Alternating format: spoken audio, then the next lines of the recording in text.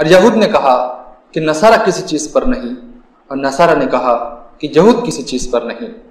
और वे सब आसमानी किताब पढ़ते हैं। इस तरह उन लोगों ने कहा, जिनके पास इल्म नहीं, उन्हीं का सा कौल। बस अल्लाह कयामत के दिन उनके दरमियान उस बात का फैसला करेगा जिसमें ये झगड़ रहे थे।